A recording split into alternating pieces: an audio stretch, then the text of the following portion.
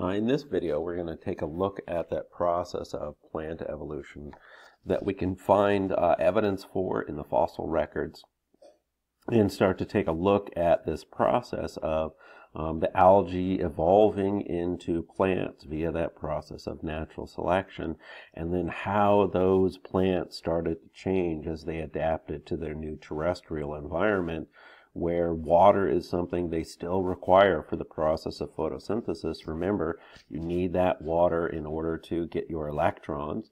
Um, you also need water for your gametes to swim, because that's what we find in the algae.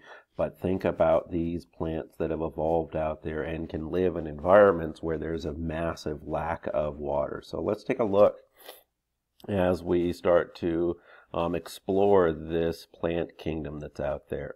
And if we take a look at this first step for this process where algae move on to land, um, there is some fossil evidence out there that you're looking at something that took place maybe almost 500 million years ago the algae that were out there started to move onto land.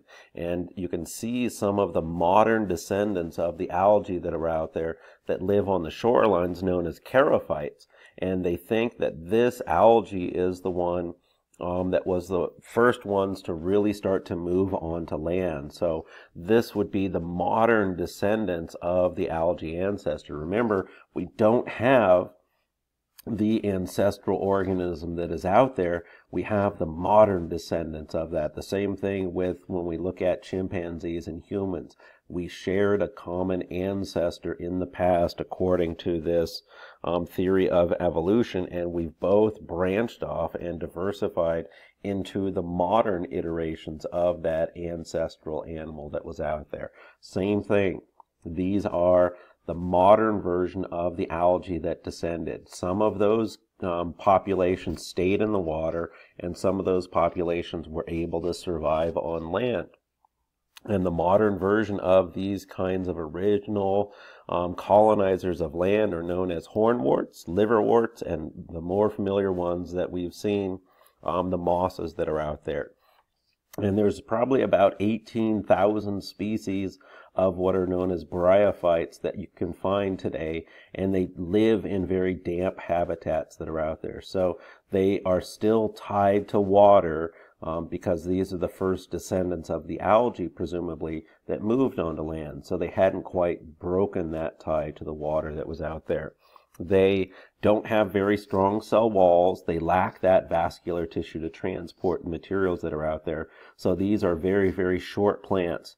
Um, and when we look at them, they really lack true roots or leaves that are out there. So they really are very, very similar to the algae that are out there in terms of some of the structures that they have.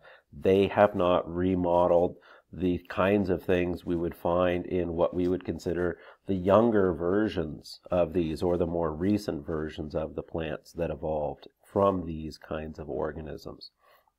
And when we look at the bryophytes and we consider what kind of adaptations did they have to do from the algae, the major adaptation here is that formation of that waxy skin layer or cuticle to help prevent dehydration. Remember, the algae could absorb stuff all over its surface, but at the same time, if you are absorbing things in, you're going to be losing things out. And if you dehydrate and lose your water, that organism is not going to be able to survive. So at some point, an algae ancestor out there had a mutation that allowed it to develop a waxy layer around the outside, and that allowed those organisms within that population to survive. Um, and you can see this example here shows us a peat bog in Scotland um, that is basically covering this area right here. Notice there's still a lot of water here, and so these are going to be, again, those short kinds of plants that tend to cover wetlands that are out there. They are the direct algae descendants that are out there. They still need water to be able to reproduce um, because their gametes are going to be swimming around. And again, they are short, short plants that are out there. But the other major adaptation that we can see here is their embryos, their children that came from the process, are going to start to be kept within a protective chamber or what's known as a gametangium within the mother plant. Um, and we look at the bryophytes, and here we have an example with some moss. They do something that's kind of an interesting thing. Remember, our algae could alternate between a sporophyte and a gametophyte generation, where they had diploid cells or haploid cells. Well, when we look at the moss, they've taken that idea of alternation of generation and they have um, taken these and basically remodeled those stages.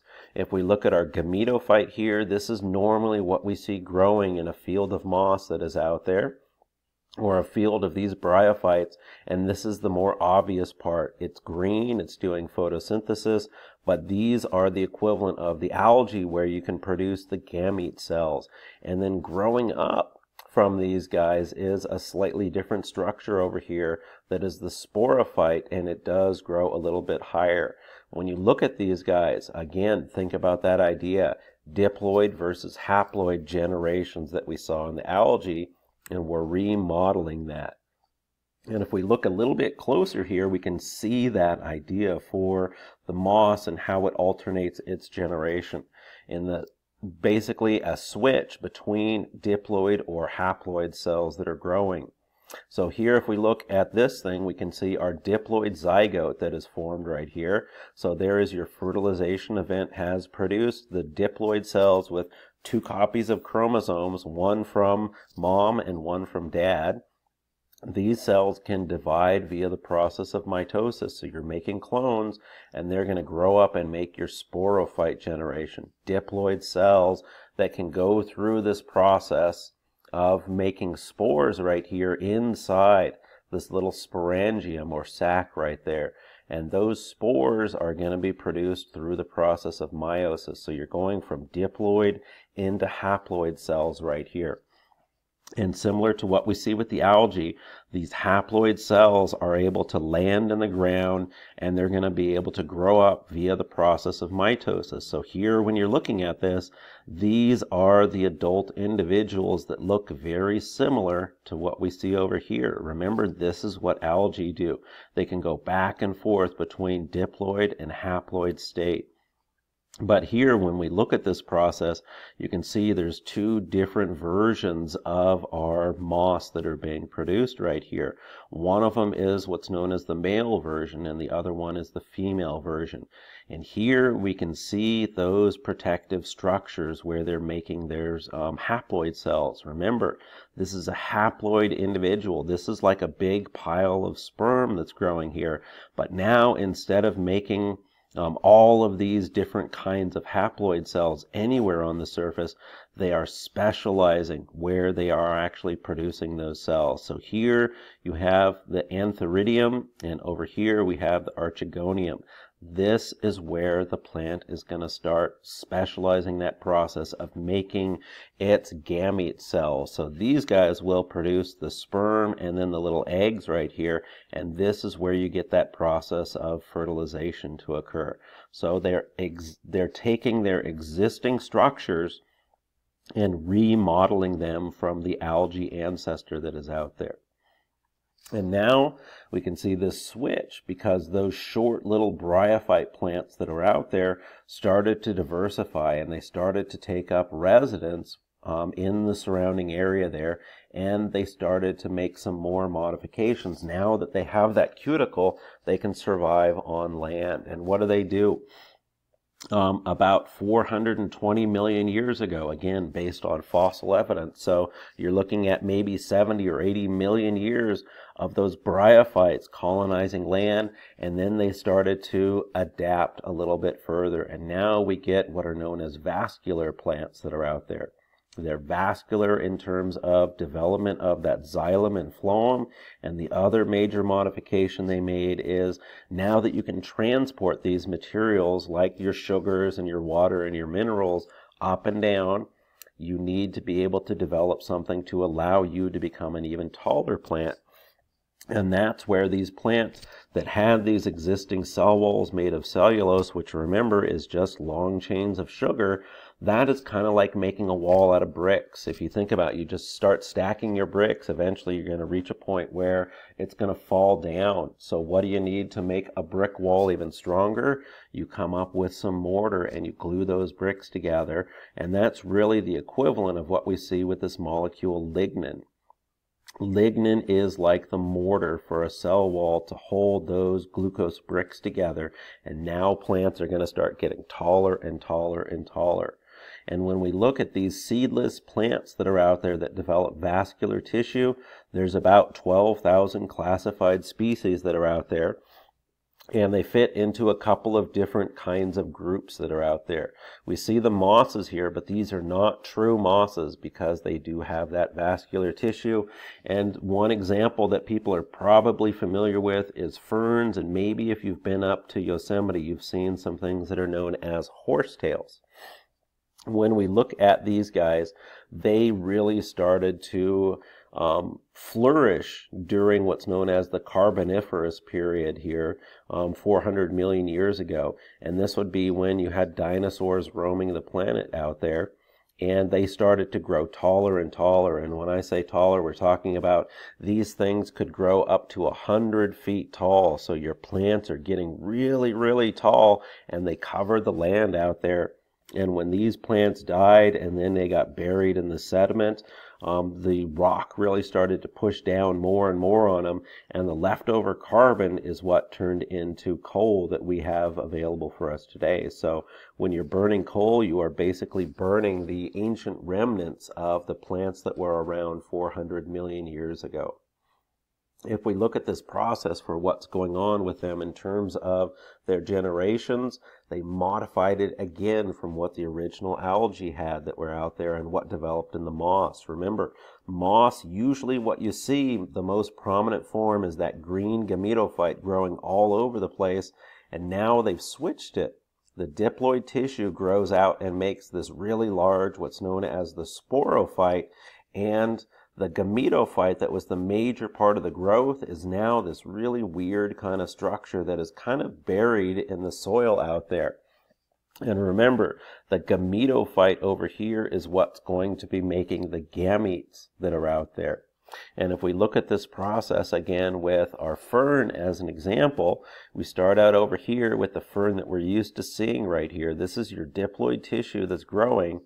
These guys can go through the process of meiosis, and if you look on the underside of a fern leaf, you see these weird kind of brown little structures. Those are actually where they're making the spores inside of spore capsules. Those will drop down to the ground, and the independent spores are going to germinate and they're going to make this little gametophyte generation here. And within that gametophyte, you will find your different structures right here. This is where you get the production of your egg and your sperm cell. So we're taking these haploid tissues right here and we are giving specific locations for the production of the gametes that are going to be used in this process of fertilization to go back to our diploid zygote stage that can divide by mitosis. So really the opposite of what we saw with our moss that were out there and the other bryophytes. Now you're switching around your existing structures as you adapt to your new environments. At this stage, the plants were able to adapt even further, and the spores that they had been making were a problem because remember, when we look at this process, the spores were still tied to having flagella and allowing them um, to produce sperm cells that could swim through that moist environment to get access to the eggs that were in the female part of that gametophyte generation. How do you get away from that? And one evolution is the evolution of seeds to basically remodel your existing spores that you're producing into something that can survive. And this happened probably about 350 million years ago from the fossil evidence. Plants started to remodel their spores and make some seeds that are out there. And this group is known as the gymnosperms, and there's still seven 700 to maybe 900 identified species out there. The majority of what we see out there are the conifers. You can also see the cycads and something like a ginkgo plant out here. And what these guys have done is made a seed that is basically that plant embryo that is packaged into a protective covering. And when you look at this, well, why did these plants evolve this way? And one thing that was going on is the climate became drier.